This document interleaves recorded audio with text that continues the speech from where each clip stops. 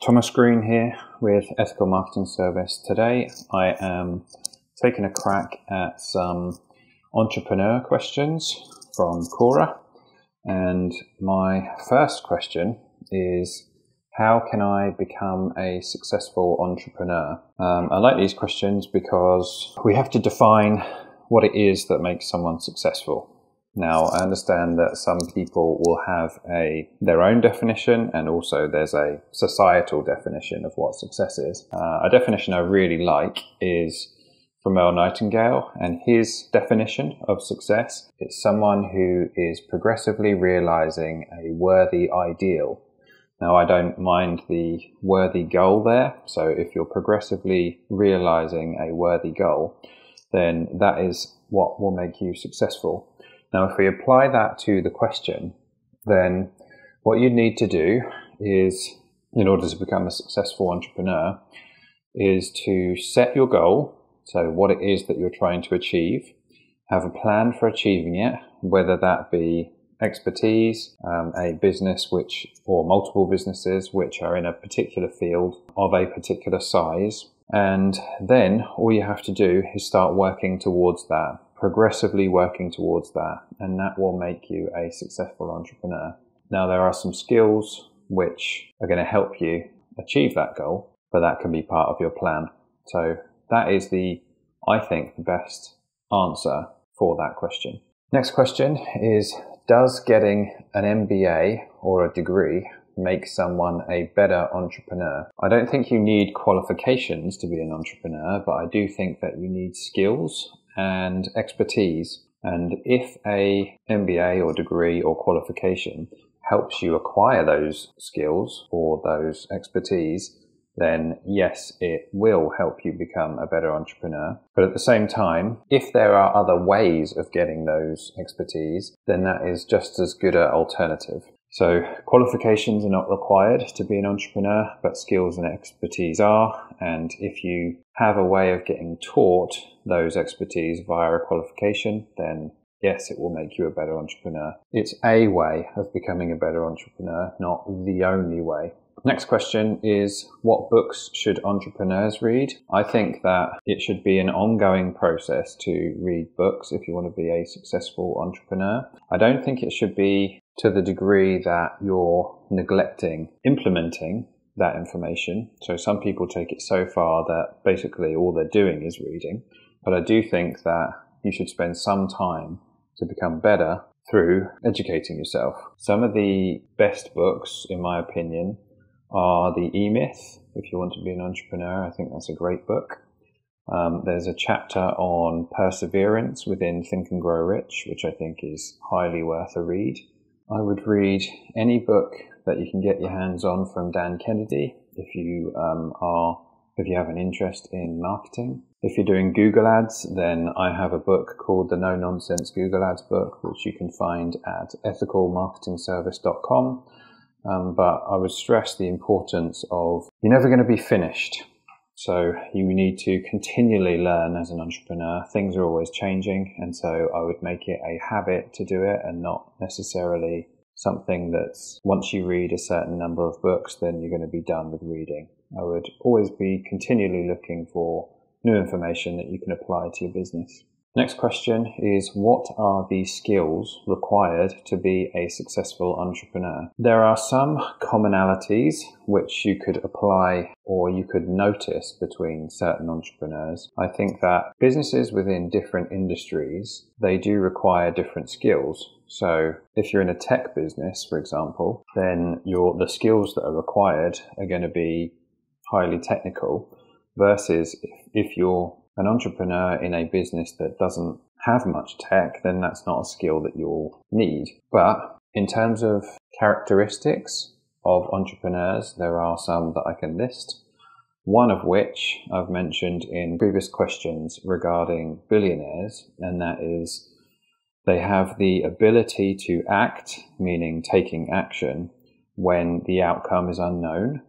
So often people get stuck. They don't know what to do if you're not really too sure what the outcome will be. And entrepreneurs and billionaires don't have that problem. They'll take the action anyway. They will get the outcome, they'll take it as feedback, and then they'll adjust their approach to get the result that they want. So that is a characteristic that you can use. Another one is perseverance. There is a lot of people on the internet who talk about failure, and it's very different to actually apply the principles of failure as feedback than it is to talk about it.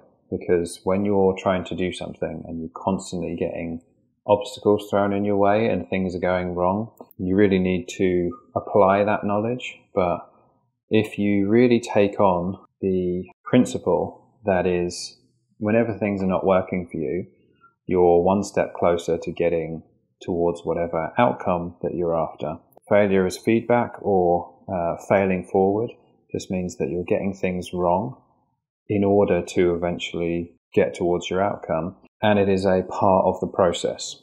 So that's another characteristic that I would apply to the skills required to be a successful entrepreneur.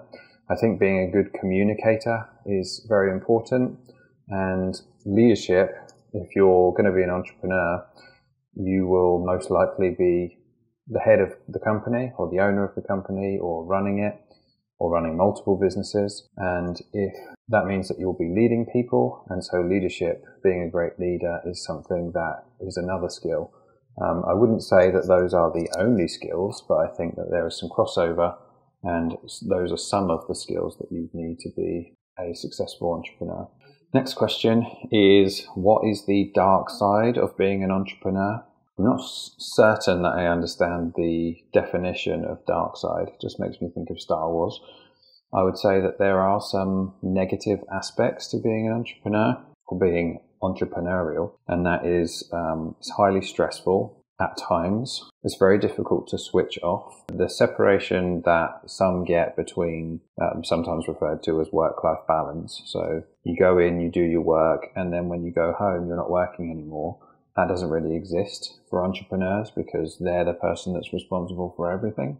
And so not only can it be highly stressful, um, but you don't really get much of a balance at all. If you have cash flow issues within your business, then often it can be the case that you're personally putting money into the company in order to make sure that the business keeps going. I've heard plenty of stories about businesses that have needed capital from the directors or the owners. And so if you're the owner and the business has a bill to pay but it doesn't have the money to pay it, and let's say in this example you can't borrow, then you're responsible to pay that out of your own pocket. And com- coming back to what I said about borrowing money, um, there are also directors' guarantees which are often needed. So if you're borrowing money on behalf of the company, if for some reason the company can't pay that, then you are obliged to pay it. So those are some of the challenges of being an entrepreneur.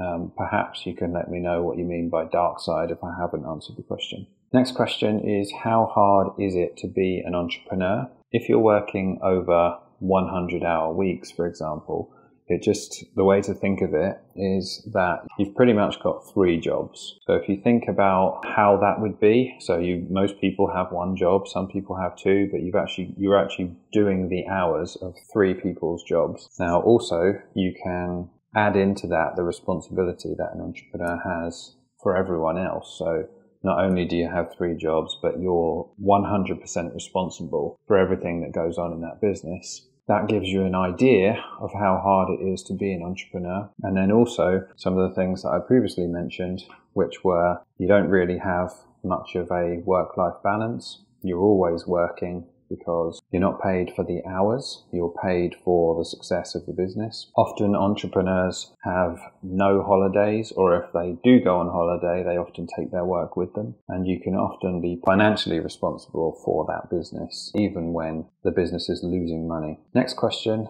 is how do you define an entrepreneur? I did a previous question, which was what's the difference between a business owner and an entrepreneur? And some people came up with some really good definitions of what an entrepreneur is. Um, I still stick to my original answer, which was a business owner is someone who starts a business or buys a business for that matter, and they have no intention of going into any other business. An example is I started a business on digital marketing, and if I'm a business owner, all I want to do is stay in my digital marketing business. If I'm an entrepreneur, I might have a digital marketing agency, but over time, I will also go into virtual assistants for businesses. I might also have some courses. I might be doing a podcast. I might be, I might also consider IT support as a viable business. Basically, you're continually solving problems for people regardless of the business that you happen to start originally.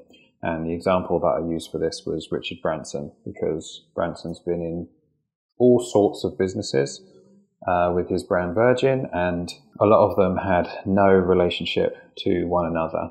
That is how I define an entrepreneur. Next question is How do entrepreneurs think as compared to non entrepreneurs? What springs to mind with this particular question is attitude to risk. I think most people do have business ideas. I've spoken to plenty of people who they're not business owners, they're not entrepreneurs, but they have good good ideas they don't tend to implement them because of the risk involved.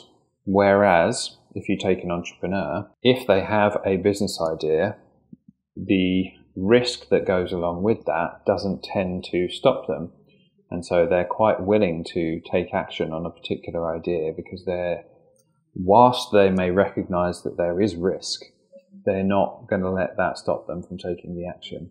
Now, there may be some other ones about perhaps work ethic, because if you're an entrepreneur without work ethic, if you've got capital and if you're willing to delegate, hire, hire people to do the work that you're not going to do, then that can be a way around it. But typically, entrepreneurs are willing to work extremely hard in order to achieve the goal that they have set themselves. That being said, I think there are some employees who are extremely hardworking so the answer I would go with in this instance is the attitude to risk. The reason why most people stay in employment because 50% of businesses fail within the first year. It's completely understandable why you wouldn't want to take that risk. And as I understand it, after the first five years, I think it is, about 90% of businesses have failed. So it's not even if you get past the first few years, then it becomes easy for you the the risk is is very high that it's not going to work out. And so, somewhat, it's, it's logical to be an employee, but as an entrepreneur, your attitude to risk isn't quite the same. Next question is What should all first time entrepreneurs know before starting their very first business? There are lots of ways that I could answer this question, but the one which I tend to always go with is you have to know how you are going to acquire your client. Sometimes it is the case that people will go into business, but they won't know how to get the client. And it's been, I've spoken to people, many, many clients who they start their website thinking that if they have their website, then they will get clients. But the analogy is opening a shop, but having it in the countryside somewhere. Basically, no one's going to find your shop unless you decide to drive them there. In this instance, if you create a website, no one's going to find your website unless you are able to acquire clients or send clients to that website who then will be your customer. And so the one thing which I would stress the most for first time entrepreneurs is how are you going to get clients for your business? Now, the delivery of that product or service is always important and it almost goes without saying that you need to be able to deliver on what you are selling. But the skill which most entrepreneurs, most businesses struggle with is actually acquiring the client in the first place. And if you can acquire that client, if you can get clients at will, then you can work on all the rest of the things. So you can make your product better, you can make the delivery of it better, you can improve it, you can work on your team, you can work on hiring the right people, but all of that other stuff is not really needed until you get your sale, until you get a client who's willing to give you that money. So that's the one thing that I would say entrepreneurs need to know before starting their very first business. Next question is why do you want to become an entrepreneur? I never really set out to be an entrepreneur. There was a skill that I had, which was at the time search engine marketing, and I was willing to take the risk of maybe I will leave my job and maybe I'll fail and I won't be able to succeed in business. But I was willing to find out. And the reason why I wanted to find out was because there's an element of freedom in being an entrepreneur. That's one of the benefits. There's a phrase which says, the great thing about being a business owner is that you're your own boss, and the awful thing about being a business owner is that you're your own boss, meaning that depending on who you are, you could be really, really lenient with yourself or extremely hard on yourself. And the other reason was because I had a problem with authority. So I didn't want to be told what to do, I just wanted to do it. And I didn't really care about being labeled as an entrepreneur, but those things were important to me. So I was willing to take the risk. Next question What stops us from becoming an entrepreneur? At the risk of it being a bit of a cliche, I think it's true to say that most people are stopped from becoming an entrepreneur because of fear.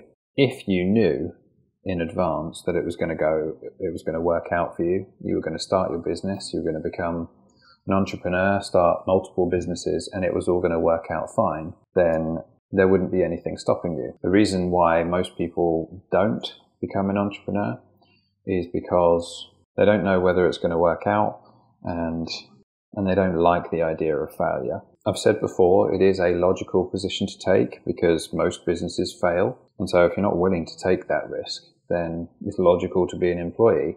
If you are willing to take that risk and you're willing to persevere, even though it might be painful, even though you might struggle, then most people will go ahead and they'll take that risk.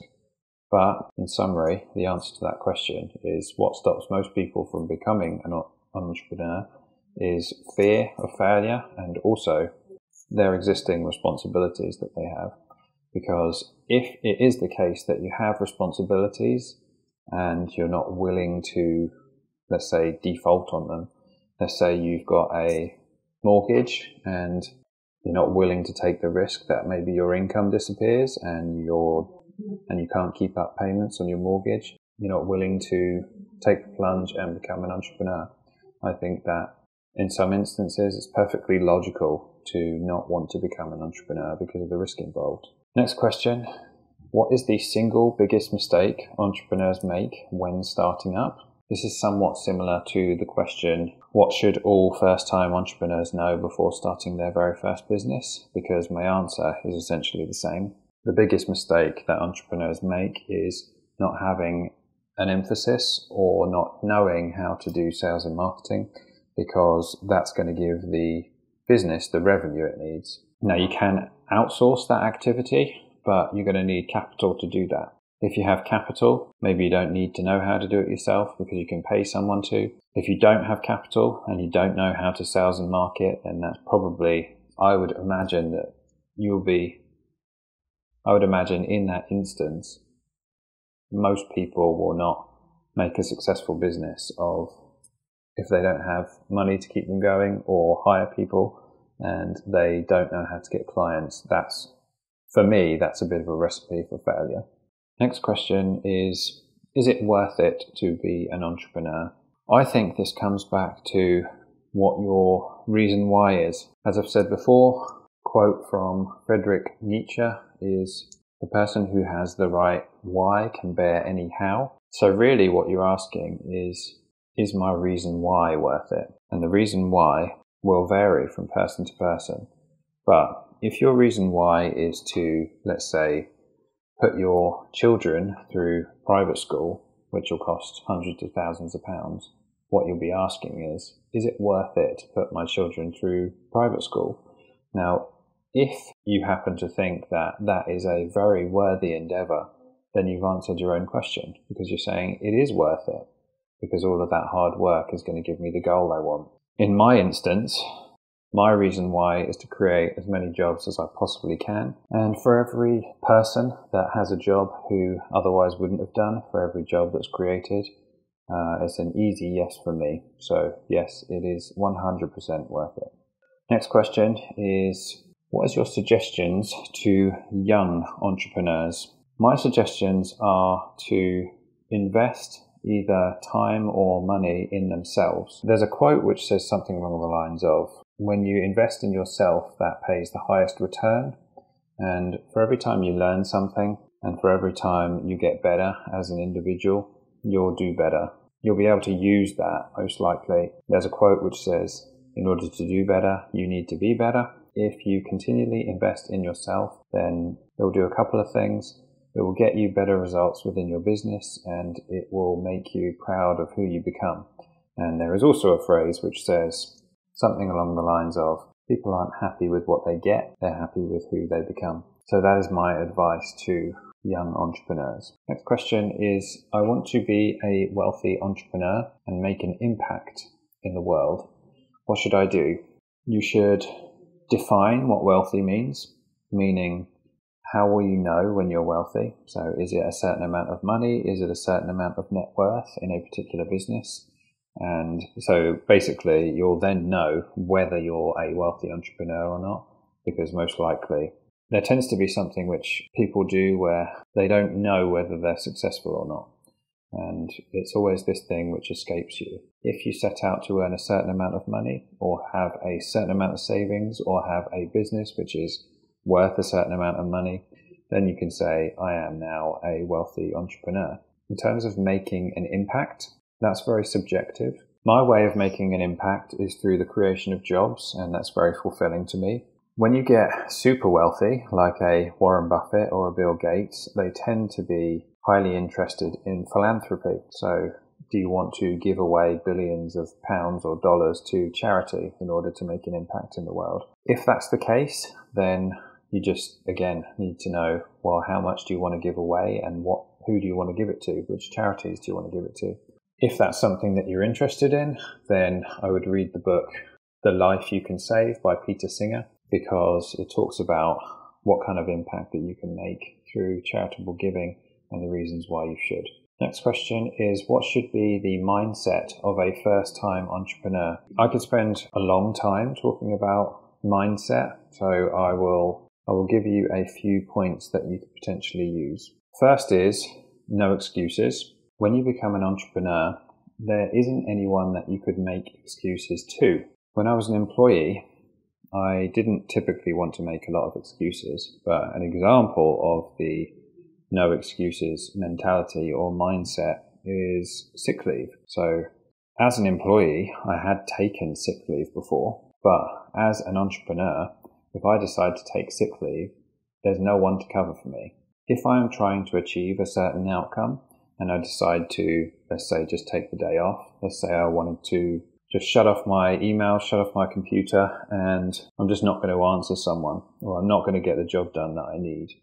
Well, the, the chances of you doing that, if you do decide to take that mentality, I'm sure you could do it once or twice, and perhaps there won't be any significant problems with doing that. But eventually that's going to catch up to you. Let's say you lose a client over it, and let's say you are trying to deliver on a particular project and you just decide that, well, I'm not feeling very well, so I just won't bother doing it what that means is that you're not going to achieve what you want to achieve. And so, really, you need to have a no excuses mentality, which means there is nothing that you can say where it's going to be okay for you to say, well, I just, I just won't do that then, or I'll, I'll let some obstacle get in my way. Basically, you have to say, I'm going to continue until I get the outcome I want. And it really doesn't matter what happens. Doesn't matter what gets in my way, I'm going to find a way around it. There is no valid excuse that you can make. You always need to be continually learning because things are changing so quickly at the moment. So if you're doing the same thing that you were five years ago, then most likely you've fallen behind the curve and it's up to you to stay current. No one's going to come along and help you. It's your responsibility to make sure that you're continually learning and falling behind because your competition is going to be trying to take your customers. They're going to be trying to outperform you. They're going to be doing everything they can as often as they can to try and beat you. And so you have to be continually learning to be the best possible version of yourself that you can be. Next question is what should entrepreneurs never do? Never's a long time. One thing that springs to mind is there is a principle which I would apply to this question, and that is the more you ignore a business problem, the bigger it gets. So I wouldn't necessarily say never, but quite often you shouldn't avoid a problem. The longer you avoid a problem, the bigger it gets. And the more you confront a problem or attempt to deal with a problem, then the smaller it gets. And so the more you kind of have that voice in, in the back of your mind where it's that's not as good as it could be or that could be better, you really need to get on those problems and continually solve problems for your business because if you don't deal with it now, then it's going to be worse later on down the line. Next question is Is 40 too old to become an entrepreneur? No. Um, there's a story about when KFC was created. If you're interested in those types of stories, you should look it up. And if I'm not mistaken, I think KFC was created by a guy at the age of 65. And if you look at the success of that business and when most people are retiring right now, a lot of the great businesses are started at the end, quote unquote, of people's careers. So 40 is not too old to become an entrepreneur.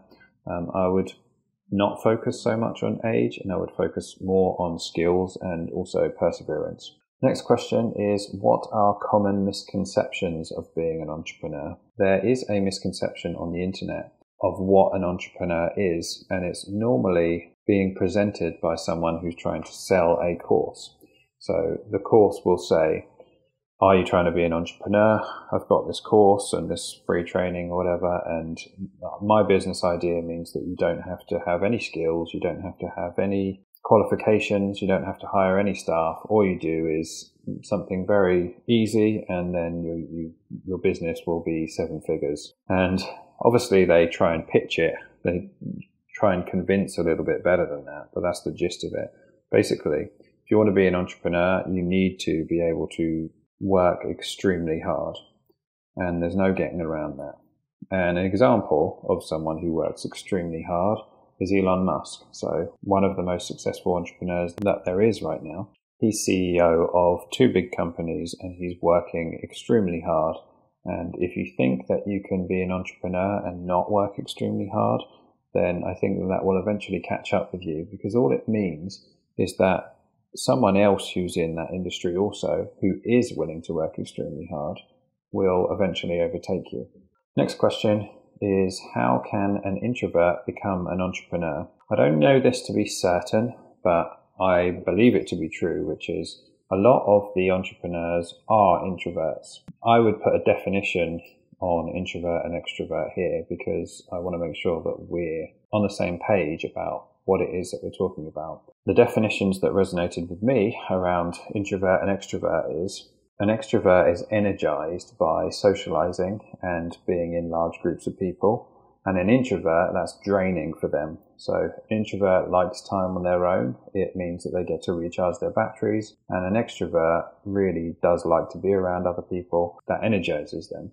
And from what I understand, most of the successful entrepreneurs are introverts. And I think the type of entrepreneur these days has come from tech companies and you can do an awful lot of work on your own on a computer. So Mark Zuckerberg, Bill Gates, they're introverts and they're programmers. So you can do an awful lot of work on your own. And therefore there are a lot of people at the moment who are entrepreneurs who are introverted. To summarize the question, there's plenty of instances of introverts being entrepreneurs, but I would play to your strengths. I wouldn't go into a business which is a people business. There are some businesses which require a lot of person to person contact or networking and if you're an introvert, you're not going to be that suited to that. And the opposite also applies. So if you're an extrovert, you don't want to be going into a business which requires you to spend a lot of time on your own. Next question Why doesn't everyone become an entrepreneur? I think the easiest way to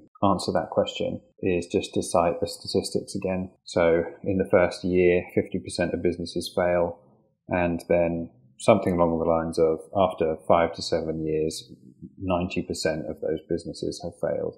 So the vast majority of businesses do fail. Whilst I don't think that it is 100% true that all people look for is security, I do think that there is an element of consistency that people look for.